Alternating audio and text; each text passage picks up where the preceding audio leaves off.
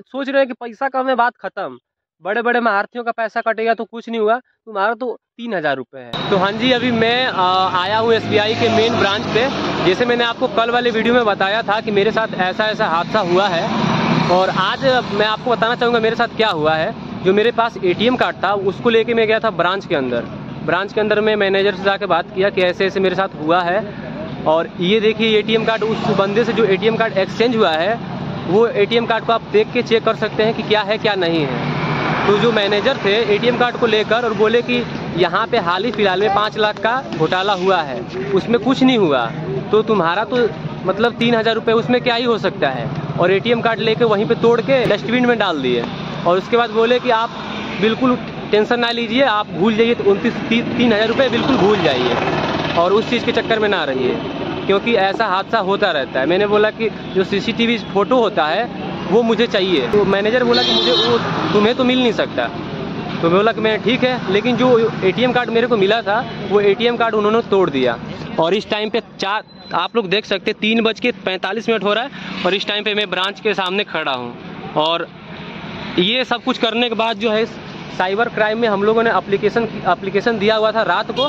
अभी इस टाइम पे हम लोग, हो सकता है कि फिर अप्लीकेशन देने वाले हैं मऊ चल तो यही सिस्टम है और यहाँ के लोग जो कार्यकर्ता है ना, यहाँ के सब लोग मिले हुए हैं, ऐसा मुझे लग रहा है। तो हाँ जी गाइज़ मैं अभी आ चुका हूँ अपने गाँव की तरफ़ और मैं आपको बताना चाहूँगा यार भाई, वहाँ पे हम लोग सुबह से गए थे और ये आपको जो कुछ भी मैंने शेयर किया हुआ है कि मेरे साथ ऐसा ऐसा हुआ है और फिर साइबर क्राइम में भी हम लोग कल रात को ही भाई कंप्लेन किए हुए थे। तो वहाँ से भाई जो भी कुछ करना था, उसमें हम सबमिट करके और सब कुछ अपलोड कर दिए हैं। वहाँ से कंप्लेन हुआ है।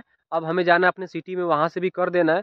बट एक बात मुझे पता चल रही है भाई, ये दुनिया गोल है और इस बात को भाई मेरे पैसे कम है, इसके वजह से चाहे कुछ भी हो। लोग ये कह रहे हैं कि अभी हाल ही फ़िलहाल में पाँच लाख रुपए का घोटाला हुआ है। ये, वो इंसान इधर उधर बहुत जगह दौड़े हैं, साइबर क्राइम में भी बहुत जगह दौड़े हैं, उनका कुछ नहीं हुआ है, पाँच लाख रुपए डूब गए। तो भाई तुम तुम जैसे तीन हज़ार रुपये वालों का क्या होगा? और जो मैनेजर ने गलती किया हुआ है भाई, मैं उनको दिया कि ये देखिए यही एटीएम कार्ड मेरे को मिला था जब उसने एक्सचेंज किया था।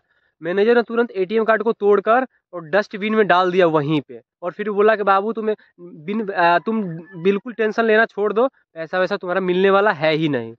अब भाई, मैं क्या करूँ उस टाइम पे? मैं अब कुछ कर भी तो नहीं सकता। तो मैं फिर वहाँ से चुपचाप चला आया और उसके बाद फिर पता चला कि भाई, दुनिया तो गोल है और इस बात को सब लोग दबाए जा रहे हैं। आज शाम को साइबर क्राइम पे फिर से कंप्लेन करेंगे, कॉल करेंगे, उसमें बताएँगे अपनी समस्या को ऐसे ऐसे हुआ है। मैनेजर ने हमारे साथ ऐसे किया है।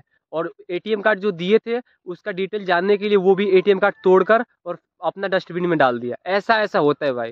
भाई, मैं तो भला ठीक है, इतना कॉन्फिडेंस के साथ आप लोगों को बता रहा हूँ। मैं तो वीडियो भी बना सकता हूँ उन लोगों का। बट जो लोग यार, जो किसान होंगे, गरीब होंगे, जो अनपढ़ होंगे, जो पढ़े लिखे नहीं होंगे, उनके साथ भाई क्या होता होगा? मुझे नहीं समझ में आ रहा है। मैं तो ठीक है, अभी इंटर तक भाई पढ़ चुका हूँ। मेरे साथ ये सब हो गया। और जो लोग नहीं पढ़े होंगे, उनके साथ क्या होता होगा? मुझे समझ नहीं आता। भाई, मेरे साथ मेरा भाई भी गया हुआ था। हम लोग सुबह दस बजे से गए हुए हैं और शाम के चार बज के सोलह मिनट हो रहा है। ये समय हो गया है। तो हमारे समस्या का हल हुआ नहीं तो हम लोग चले गए पुलिस स्टेशन। वहाँ पे जाकर एक सर से बोले कि ऐसा ऐसा हमारे साथ हुआ है और हमें क्या करना है? तो वो बोले कि ठीक है, अभी सर तो है नहीं। शायद चौकी इंचार्ज जो होंगे, उनको बता रहे थे कि वो तो है नहीं। आप अपना नाम दे दीजिए और नंबर दे दीजिए, एड्रेस दे दीजिए। हम लोग सर को लेकर जाएँगे कल एसबीआई बैंक में और वहाँ पे सब कुछ पता करेंगे। बारह बीस से और एक बजे के बीच में जो एटीएम कार्ड के अंदर सीसीटीवी लगा हुआ है, उसका वीडियो हम लोग देखेंगे और आपको बताएँगे क्या है, क्या नहीं है। बट मुझे नहीं लगता कि भाई ऐसा कुछ होगा। ये पुलिस वाले भाई कुछ भी नहीं करेंगे, ये गोल गोल बस ऐसे ही घुमा रहे हैं। कहा भाई साहब? ऐसा कुछ भी नहीं होगा। तुम्हें ऐसा तुम्हें क्या लग रहा है कि ऐसा क्या होगा? अपने अनुभव से तुम क्या कहना चाहते हो? देखो, पहले तो ये लोग सुबह से ऐसे ही घुमाए रखे हैं और सबके मुँह से अगर सुनना, अगर सब, जो जो भी बातें लोग बोल रहे हैं, अगर सबकी बातों को मिलाकर देखा जाए तो सबका कहना यही है कि बातों को छोड़ो, पैसा कम है, बात को खत्म कर दो। है ना सिस्टम। सब लोग ये सोच रहे हैं कि पैसा कम है, बात खत्म।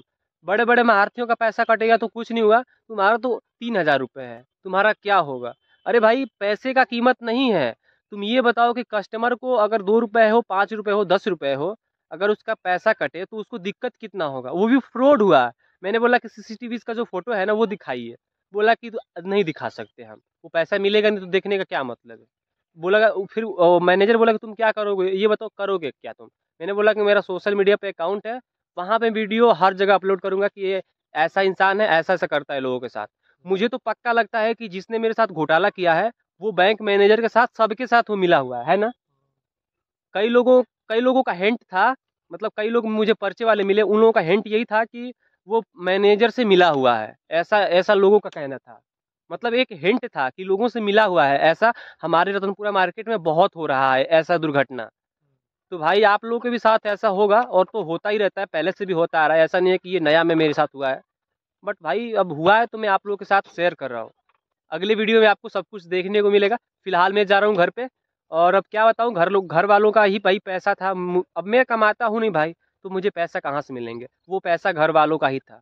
तो मुझे घर से तो सुनने को मिला है, बट कोई बात नहीं यार, अब देखेंगे जो होगा सो देखा जाएगा, टेंशन लेने का तो कोई मतलब बनता नहीं है। तो कल वाले वीडियो में फिर देखेंगे क्या होता है, क्या नहीं होता है ना? चलो फ़िलहाल के लिए चलते हैं घर। इस वीडियो को आप लोग दबा के शेयर करिएगा, ताकि हम ही जैसे लोगों के साथ ये सब जब हो रहा है तो सुनवाई नहीं हो रहा है तो आपके साथ क्या सुनवाई होगा?